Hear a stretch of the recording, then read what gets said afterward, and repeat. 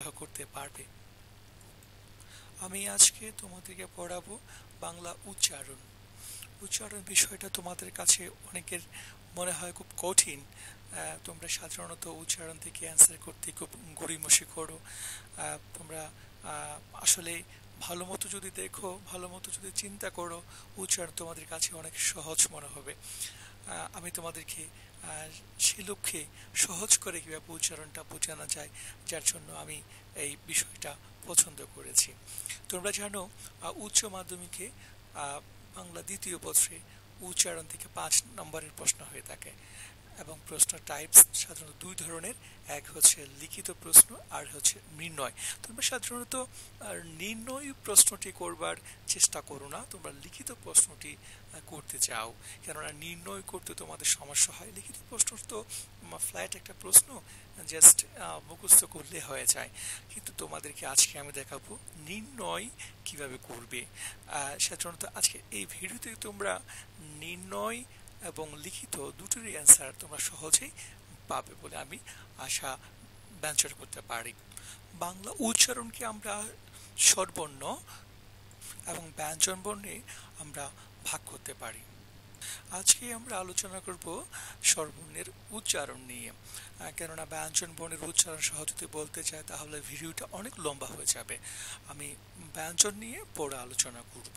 আজকে আমাদের আলোচনা হবে স্বরবর্ণের উচ্চারণ স্বরবর্ণের ভেতরে আমরা একটা বিভক্তি করেছি যে আমরা জানি স্বরবর্ণের উচ্চারণ তিন ধরনের, আদ্য ও মধ্য ও অন্ত ও। আজকে আমরা আলোচনা করব স্বরবর্ণের আদ্য ও নিয়ে। আজকে আমাদের টোটাল আলোচনা হবে স্বরবর্ণের আদ্য ও নিয়ে। মধ্য আর অন্ত নিয়ে আমরা পরের ভিডিওতে বলব। স্বরবর্ণের আদ্য অর্থের উচ্চারণ দুই ধরনের হয়ে থাকে। আমরা জানি সাধারণত নীলিন বর্ণ ও এর উচ্চারণ দুই ধরনের হবে।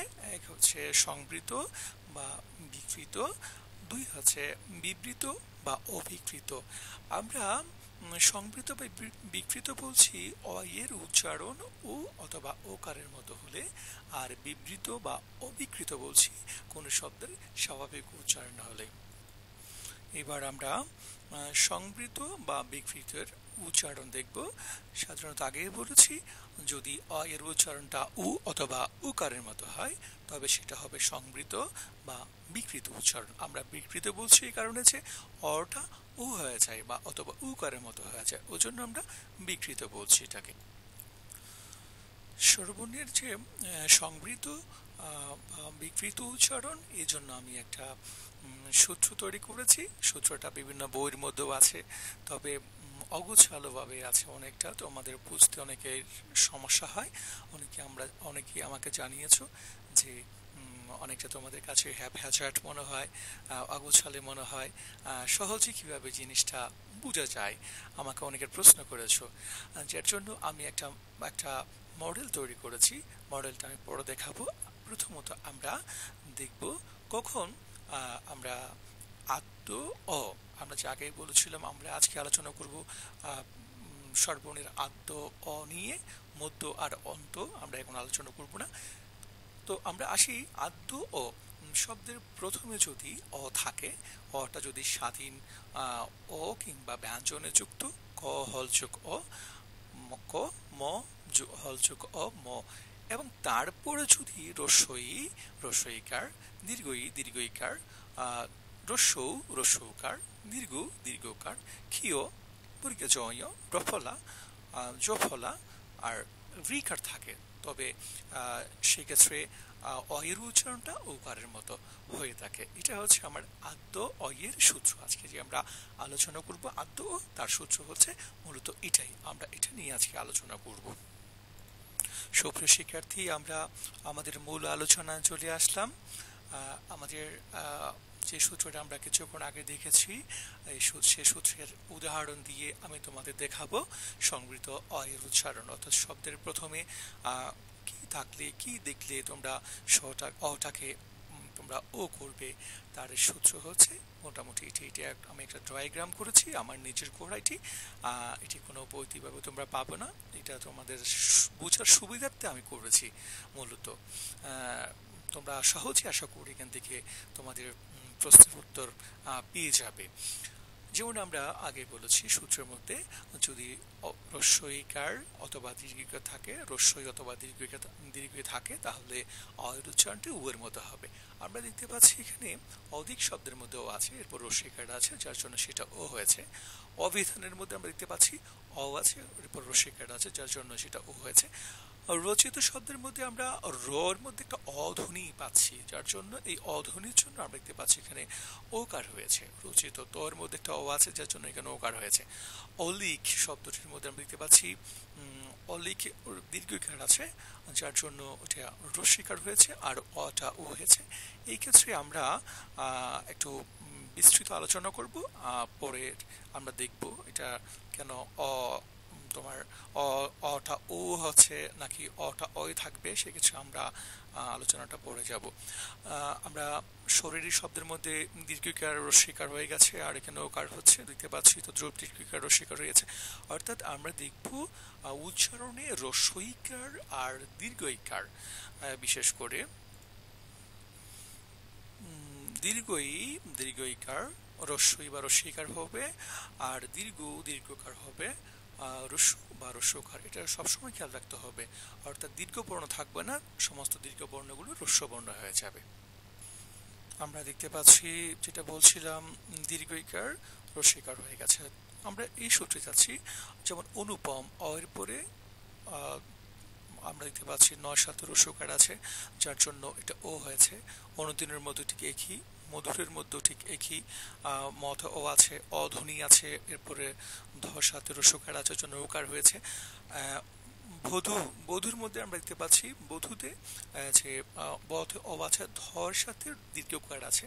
আমি আগে বলছি, দীর্ঘকার রস্যকার হয়েছে, যার জন্য রস্যকার হয়েছে। আর এখানে অধ্বনি আছে বলে সেটা হয়েছে কি ওকার হয়েছে। ময়ূর ঠিক একই অবস্থা, ময়ূর লিখতে গেলে আমরা দীর্ঘ দিয়ে লিখি, আর এখানে হবে আমাদের রস্যকার যেহেতু আগেই বলেছি, দীর্ঘ বর্ণ রস্য হবে, কর্পূর ঠিক একই অবস্থায় হবে, যেখানে ওকার হবে রস্যকার দীর্ঘকার রস্যকার হয়ে যাবে।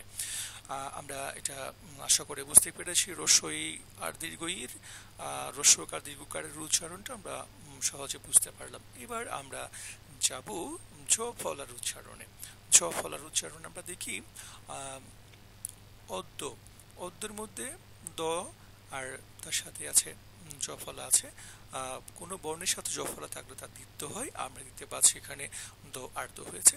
যেমন অধ্যক্ষ শব্দের মধ্যে দেখতে পাচ্ছি আমরা ধর সাথে জফলা আছে। সেই ক্ষেত্রে এই ধটা হচ্ছে মহাপ্রাণ, তার জন্য একটি অল্প প্রাণ হবে।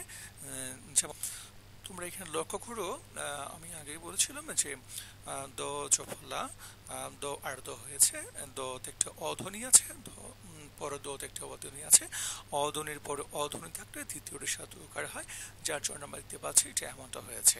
হ্যাঁ তো আমরা এরপর দেখতে পাচ্ছি যে অধ্যক্ষ লিখতে গিয়েছে ধর সাথে চফলা আছে ধ চফলা মানে ধ হচ্ছে মহাপ্রাণ যার জন্য তার জন্য একটা অল্প প্রাণ বসবে, আমরা দেখতে পাচ্ছি ধয়ের অল্প প্রাণ হচ্ছে ধ দ সুতরাং একটা মহাপ্রাণের পরে যদি জফলা থাকে, ওই মহাপ্রাণটির অল্প প্রাণ বর্ণটি বসবে, বসছে, সুতরাং এটা হয়ে গেছে এমনটাই, যার জন্য আমরা বলছি, অধ্যক্ষ দেখতে পাচ্ছি আমরা অ সাথে জফলা আছে বলে এই অটি ও হয়েছে, আর জফলা তাকে দিতে হবে, দ, আর দ, আগে দেখানো হয়েছে এরপরে আমরা দেখতে পাচ্ছি ক্ষীয়।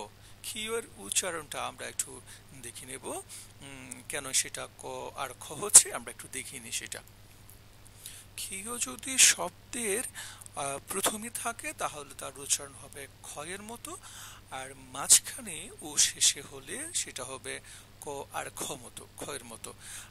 আমরা জানি ক একটা ও আছে খ একটা ও আছে, অর পরে অ থাকলে দ্বিতীয় অসাধকার হবে ওই জন্য এখানে দ্বিতীয় সাথে উকার হয়েছে আমরা সুতরাং বুঝতে পেরেছি অর্ধক্ষ কেমন, কেন এরকম হলো। অর্ধক্ষ হয়েছে যে খ আর খ থেকে আসলো সেটা আমরা বুঝতে পেরেছি, আশা করি। আর আমরা এখন দেখি এখানে যে এখানে চাই দেখি অক্ষ এর পরে একটা ক্ষীয় আছে।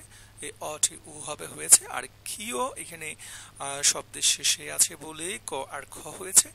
অক্ষরের মতো ঠিক একই অবস্থা মাঝখানে আছে বলে ক আর খ হয়েছে। চক্ষ আমরা দেখতে পাচ্ছি এখানে শব্দের শেষে আছে বলেই এমনটা হয়েছে। অর্থাৎ আমরা দেখতে পাচ্ছি ক আর খ হয়েছে। এখানে অন্তস্থজ বর্গাচ হবে। যেমন আরও আছে এরকম, উচ্চারণে সবসময় তালব্যস মূর্ধনস ও দন্তস। তালব্যস বা দন্তস হবে। আমরা মূর্ধনস কখনো হবে না। আছে। কখনো সেটা তালব্যস হতে পারে মূর্ধনস আবার দেখতে পাচ্ছি আমরা দন্তস কখনো কখনো আবার তালব্যস হয়ে যেতে পারে। যেমন আমরা যখন বলি শ্রমিক বলি, আমরা সেটা দেখতে পাচ্ছি শ্রমিক লিখতে গিয়ে আমরা তালব্যস দিয়ে লিখি, কিন্তু বলতে গেলে আমরা বলি দন্তস দিয়ে। অর্থাৎ উচ্চারণ করতে গেলে আমরা দন্তস দিয়ে করব। তদ্রূপ আমরা উচ্চারণের ক্ষেত্রে বর্গিয়াছ আর অন্তস্থ দুইয়ের মিলে কিন্তু একটি হবে, অর্থাৎ বর্গিয়াছ হবে। অন্তস্থ হবে না। যেখানে অন্তস্থ দেখবে তোমরা, সেখানে সেটাকে বর্গিয়াছ করে ফেলবে। আর দন্তন্য আর মূর্ধন্য এই দুইয়ের মধ্যে কিন্তু একটি নখ আমরা নেব, সেটা হচ্ছে দন্তন্য মূর্ধন্য হবে না। আর অনুস্বা উয়া আর অনুস্বরের ভিতরে আমাদের উচ্চারণ হবে উচ্চারণ আসবে উয়াটা অনুস্বর আসবে না। যেমন আমরা বাংলা যদি বলি বানান আকার অনুসার লো আকার কিন্তু উচ্চারণের ক্ষেত্রে সেটা আমরা করব, বাংলা উঁ দিয়ে করব ও নিচে হল ছিন্ন হবে। সুতরাং এই জিনিসটা খুবই ইম্পর্টেন্ট এটা কিন্তু তোমরা খেয়াল রাখবে। তো আমরা দেখতে পাচ্ছি অন্তস্থজ বরিগাছ কেনা হলো, এখানে আমরা বুঝতে পেরেছি। আর মাঝখানে এখানে লক্ষণের মধ্যে মাঝখানে ঘিউ আছে, যার জন্য এটা ক আর খ হয়েছে। আর মূর্ধন্য কেন তুন্তন হলো, এটাও আমরা বুঝতে পেরেছি। মূর্ধন্য তুন্তন হয়েছে উচ্চারণের ক্ষেত্রে।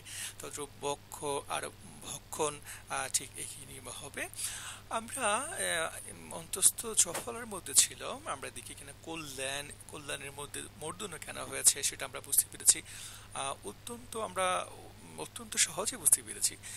তোর পরে জফলা আছে, তাহলে ওর পরে ও থাকলে দ্বিতীয় অসাধুকর হবে কেন? দ্বিতীয় হয়েছে, তো তো হয়েছে। আর তুন্তন্য আর নয়, নয়তো যেটা, সেটা হচ্ছে যুক্তে। বাচন যুক্ত বাচনকে আমরা ভাঙলাম? ন, আর তো পেয়েছি এক্ষেত্রে। নত একটাও আছে তত একটাও আছে। ওর পরে ও থাকলে দ্বিতীয় অসাধুকর হবে, ওই জন্য হয়েছে সেটা। আর সত্য শব্দটিতে যে আমরা দন্তস আগে বলেছি তালপোষ মর্দনস দন্তস আমরা সত্য বলি না, আমরা সত্য বলি, যার জন্য আমরা তালপোষ করেছি। তো সাথে জফল আছে বলে তো আর তো দ্বিত্ব হচ্ছে। আর এখানে আমরা দ্বিত্ব হয়েছে এবং পরের বর্ণের সাথে আমরা উকার করেছি। আর সজ্জা মধ্যে আমরা দেখতে পাচ্ছি এখানে সজ্জার মধ্যে অন্তস্থ চো আছে বর্গীয় চোখ যা আগে বলছি। আর তাল বসের সাথে উকার হবে, যেহেতু স্বর পরে চফলা আছে বলেই আমরা এমনটা করেছি সজ্জা তো আমরা যাচ্ছি এবার যোগ্য শব্দের মধ্যে। যোগ্য এখানে একটা বিষয় তোমাদেরকে বুঝতে হবে। শব্দের প্রথমে যদি বর্গীয় ছয় থাকে, তাহলে সেটার উচ্চারণ হবে গ চন্দ্রবিন্দু বা গ চফলা চন্দ্রবিন্দু। ঠিক আছে এমনটা হবে। যেমন আমরা যদি বলি জ্ঞাত, জ্ঞান ঠিক আছে আমরা এমনটাই বলতে পারি। বর্গীয় ছয় যদি মাঝখানে ও শেষে থাকে, গ আর গ এর মতো হবে। আমরা আগেই বলেছি অ এর পরে ও থাকলে দ্বিতীয় শতকার হবে। এখানে দ্বিতীয় শতকার হয়েছে। আর চন্দ্রবৃত্ত হবে কেন? বর্গেছ আর ইয় ইয় নাসিক্য নাসিক্য উঠে গেলে তার পরিবর্তে আমরা একটা চন্দ্রবিন্দু যোগ করব। চন্দ্রবিন্দুটা অবশ্যই দ্বিতীয় বর্ণের সাথে হবে কিন্তু প্রথম বর্ণের সাথে হবে না। তোমরা অনেকে ভুল করো, প্রথম বর্ণের সাথে এটা করি, ঠিক আছে? যেহেতু এটা দ্বিতীয় বর্ণের সাথে হবে। কেননা বর্গেছ আর ইয় ইয় তো পরেই আছে, ওই জন্য পরেই করতে হবে এটা। খেয়াল রাখবে এটা। তো আমরা বর্গীয় নিয় এর সূত্রটা দেখলাম, এখন আমরা যোগ কেন এমনটা হয়েছে আমরা বুঝতে পেরেছি। অন্তস্থ ছ বর্গীয় ছ হবে, আর এখানে আমরা বর্গীয় ছ আর ইয়, সেটা উচ্চারণের আমরা দেখতে পাচ্ছি গ আর গর মতো হয়, গ একটা ও আছে আর গ একটা আছে। ওর পরে অ থাকলে দ্বিতীয় সাতকার হবে, যার জন্য আমরা এখানে ওকার করেছি, আর ইয় নাসিক বলে চন্দ্রবিন্দু যোগ করেছি। তাহলে যজ্ঞ যজ্ঞ উচ্চারণ হবে এমনটাই। আমরা এই ডায়াগ্রামটা দেখেছে তোমরা পর্যন্ত এটা খুবই গুরুত্বপূর্ণ। তোমরা যদি এটা যদি একটু ভালো মতো বুঝতে পারো, আমি মনে করি উচ্চারণটা তোমাদের কাছে অনেকটা সহজ মনে হবে এবং তোমরা সহজে যে কোনো শব্দের উচ্চারণ করতে পারবে। আর তোমাকে যদি প্রশ্ন করা হয় আদ্য অয়ের সংকৃত হওয়ার আদ্য অয়ের অয়ের পাঁচটি সূত্র লেখা সূত্র লিখো। অথবা তোমাকে প্রশ্ন করা হয় যে আদ্য অয়ের পাঁচটি সূত্র অথবা শব্দের প্রথমে অধ্বনি হওয়ার, শব্দের প্রথমে অরুচারণ উকার হওয়ার পাঁচটি সূত্র লেখা তোমরা সহজে এখান থেকে লিখতে পারবে। এটা খুবই সহজ করে আমি তোমাদেরকে বলছি। সুতরাং এটা খেয়াল রাখবে তোমরা। এবার আমার এই সূত্রের বাইরে কিছু শব্দ আমি শব্দের উচ্চারণ আমি তোমাদের দেখাবো যে কীভাবে শব্দের প্রথমে উচ্চ সূত্র ছাড়া আমরা দেখতে পাচ্ছি যে এখানে যদি শব্দের প্রথমে রফলাযুক্ত অ থাকে তাহলে সে পরবর্তীতে তোমার রফলাযুক্ত অ থাকলে এই অয়ের উচ্চারণটা উকারের মতো হয়। আমরা দেখতে পাচ্ছি ক্রম শব্দটির মধ্যে দেখতে পাচ্ছি রফলা আছে এখানে, গ্রন্থ এখানে আছে। রফল আছে, পৃষ্ঠ এখানে রফল আছে, যার জন্য এটা হয়েছে, আমি আগে বলছি, মূর্ধন্য তালপোষ হবে হয়েছে এখানে। আর ব্রজ, আমরা দেখতে পাচ্ছি ব্রতে ও আছে, বর্গীয় চতে ও আছে। ওর পরে অ থাকলে দ্বিতীয় শত উকার হবে, আর এখানে রফল আছে বলেই উকার হয়েছে। সুতরাং এটিও একটি সংবৃতের সূত্রের মধ্যে এটাও কিন্তু পড়ে। আমাদের পরবর্তী সূত্র দেখতে পাচ্ছি আমরা, শব্দের প্রথমে, শব্দ যদি একাক্ষর বিশিষ্ট হয় এবং তারপরও যদি দন্তন্য থাকে, তাহলে আমাদের উচ্চারণ হবে ওকারের মতো। অর্থাৎ প্রথমে অটি ওকারের মতো উচ্চারণ হবে। আমরা দেখতে পাচ্ছি এখানে মন শব্দটির উচ্চারণটা, আমরা দেখতে পাচ্ছি মন হয়েছে, মত একটি অ আছে দন্তন্য আছে, বনের মধ্যে আর জনের মধ্যে ঠিক একই রকমের একটি আরও একটা সূত্র, এটা খুবই ইম্পর্টেন্ট হ্যাঁ। আমি ওই যে আমার ডায়াগ্রামের মধ্যে আমি বলেছিলাম, অলিক শব্দটি বলতে গিয়ে আমি বলেছিলাম এই সূত্রটা খুবই ইম্পর্টেন্ট হ্যাঁ। তোমাদের অনেক শব্দের যে পরীক্ষা যে আসে শব্দ সাধারণত এখান থেকেই আসে, অনেকে ভুল করে তোমরা। অর্থাৎ যদি অয়ের পরে যদি ওই সূত্রগুলো যে রস্যই, দীর্ঘই রস্যকা, দীর্ঘকার, জফলা ভিকার ক্ষীয় বর্গের জয় এগুলো থাকে, তাহলে সেটা অনায়াসে আমরা দেখতে পাচ্ছিলাম অটা উ হয়ে যাচ্ছে। কিন্তু খেয়াল রাখতে হবে একটা বিষয়, যদি অ যদি না বোধক হয়, তাহলে সেখানে অর উচ্চারণটা অয় থাকবে, অর্থাৎ সেটা সংকৃত হবে না, এটা বিবৃত উচ্চারণ হবে। তবে কথা হচ্ছে, যদি অ দিয়ে যদি নাম বোঝায়, তাহলে সেই ক্ষেত্রে অয়ের উচ্চারণটা উকা, উয়ের মতো হবে, উ হয়ে যাবে। যেমন আমরা এখানে দেখতে পাচ্ছি, অজিত দিয়ে নাম বোঝায়, অসীম দিয়ে নাম বোঝায়, অতুল অতুল দিয়ে নাম বোঝায়, অনিশ দিয়ে নাম বোঝায়। সুতরাং নাম বুঝাচ্ছে বলে আমরা এখানে দেখতে পাচ্ছি, এই যে অ এর উচ্চারণটা ও হচ্ছে। অজিতে, অহ, অজিত হয়ে যাচ্ছে, অসীমের মধ্যে আমি দেখতে পাচ্ছি তাল দন্তস তালবস হবে হয়েছে। আর দীর্ঘিক রস্বীকার হবে হয়েছে। অতুলের মধ্যে ঠিক কি অনিশের মধ্যে ঠিক কি আছে দীর্ঘিকার রস্বীকার হয়ে গেছে। অর্থাৎ এগুলো দিয়ে নাম বোঝাচ্ছে। নাম বোঝালে যদি অটা না বোধক হয়, তাহলে সেক্ষেত্রে অ ও হয়ে যাবে। এটা কিন্তু খেয়াল রাখতে হবে। খুব গুরুত্বপূর্ণ এটা কিন্তু। এরই মধ্য দিয়ে শেষ হয়ে গেল আমাদের সংবৃত সূত্র। সংবৃত সূত্র আমরা দেখলাম আমাদের আলোচনার সহচার্থে, আমি এই যে ডায়াগ্রামটা করেছি ডায়াগ্রামের কথা তোমাদের বারবার বলছি, এটা যদি তোমরা বুঝো সংবৃত সূত্রগুলো তোমরা সহজে বুঝবে। এবার আমরা যাব বিবৃত লক্ষ্য করো, আমরা আসলাম এখন সংবৃত শেষ করে আসলাম বিবৃত বা অবিকৃত শব্দের উচ্চারণে।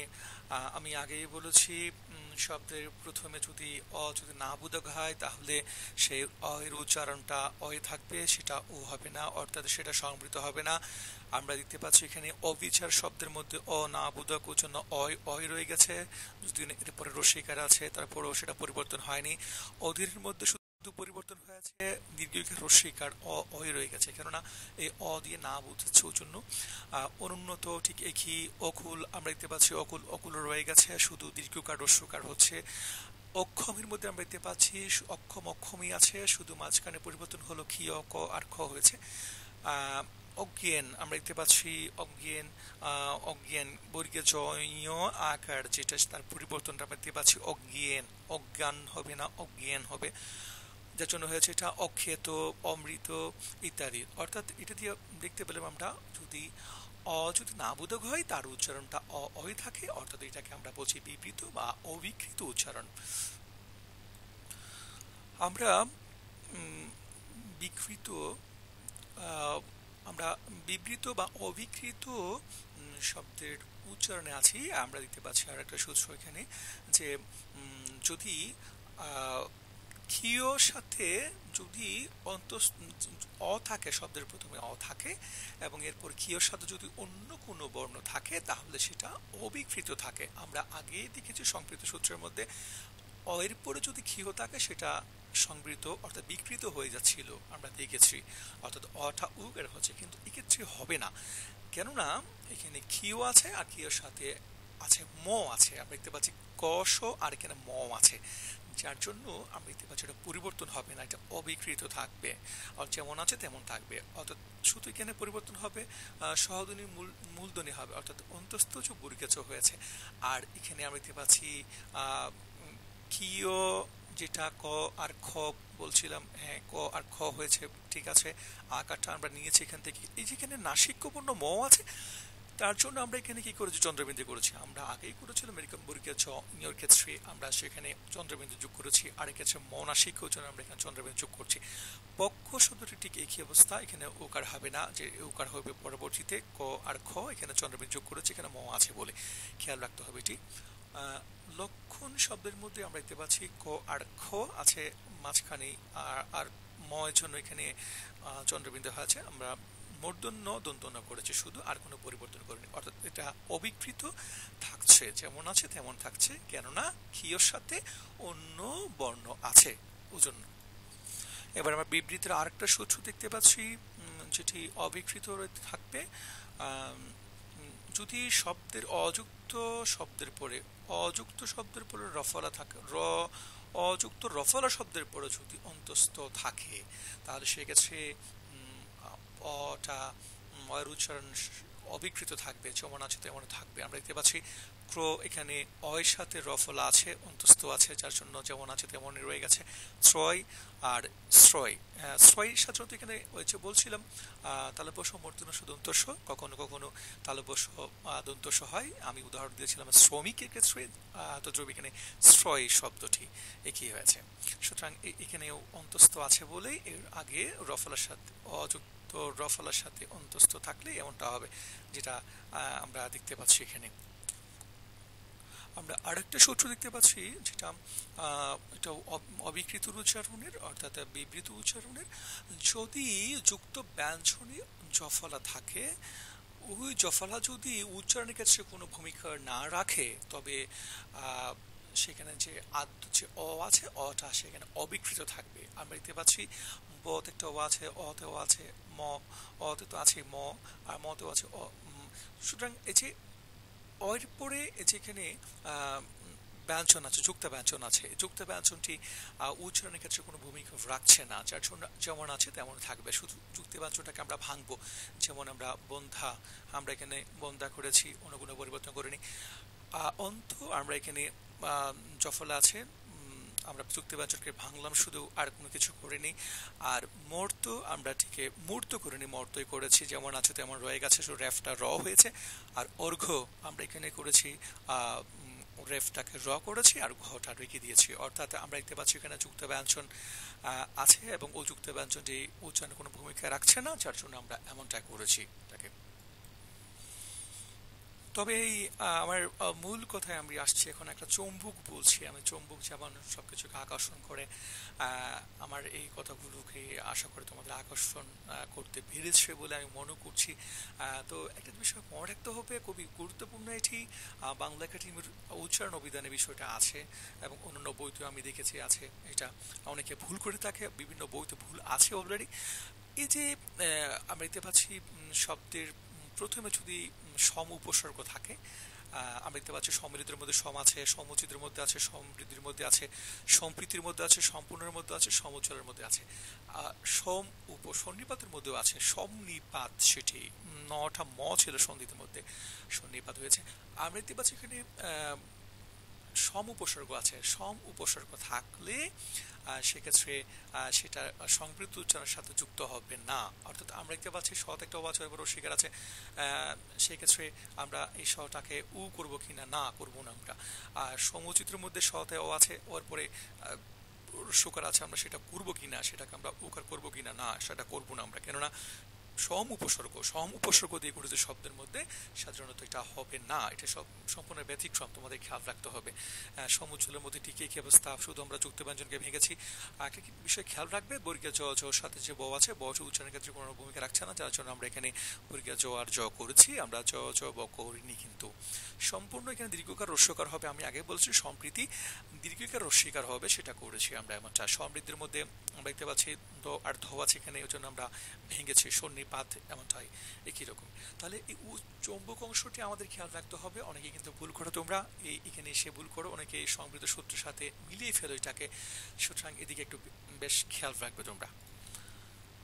আশা করি তোমরা বিবৃত বা অবিকৃত শব্দ উচ্চারণ সম্পর্কে বুঝতে পেরেছ। এখন তোমাদের প্রশ্ন করা হলে বিবৃত শব্দের, বিবৃত পাঁচটি উদাহরণ লিখো বা উদাহরণ সহ উদাহরণ দাও পাঁচটি তোমরা সহজে দিতে পারবে এবং বিবৃত হওয়ার, অবিবৃত হওয়ার বা অবিকৃত হওয়ার সূত্র সম্পর্কে তোমরা সহজে এখান থেকে বুঝতে পারলে। আশা করি তোমরা এখন লিখিত প্রশ্ন যদি অ্যান্সার দিতে চাও, তাহলে তোমরা এই, এখান থেকে তোমরা সহজে পাচ্ছ।